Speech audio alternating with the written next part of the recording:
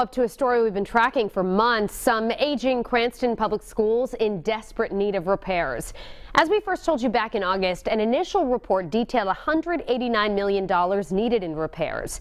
Tonight, school officials will unveil their master plan for the improvements. Eyewitness News reporter Steph Machado is live in Cranston with what the school superintendent is saying ahead of tonight's meeting. Steph? Well, Shannon, last week, Rhode Island voters approved a $250 million school buildings bond. A lot of school districts will be vying for that money. Tonight, Cranston plans to reveal their plan for the next five years to renovate several schools, even build a new school, but they also want to consolidate and close two elementary schools.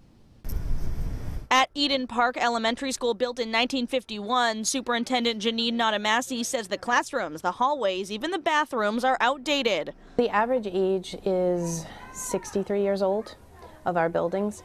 And with that comes major problems um, roofing, structural deficiencies, um, ADA compliance. Part of the school department's new five year master plan includes renovations at this school, including getting rid of hallways altogether and making learning space more flexible. We're really trying to be efficient with our plans and make sure every piece of landscape is used for education. Some of those aging school buildings like Cranston High School West will be renovated under this plan, and the school department is proposing to close two elementary schools, Barrows and Waterman.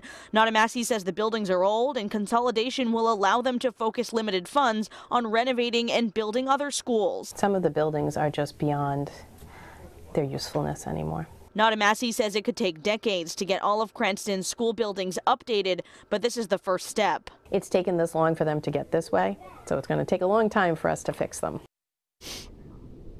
And parents at Barrow School have already been notified that the plan is to clo close that school this spring. If Waterman School's closure is approved, that would happen a few years down the line. All of this is going to be detailed at a 6 o'clock meeting at the Cranston High School West Library. Live in Cranston, I'm Steph Machado, Eyewitness News.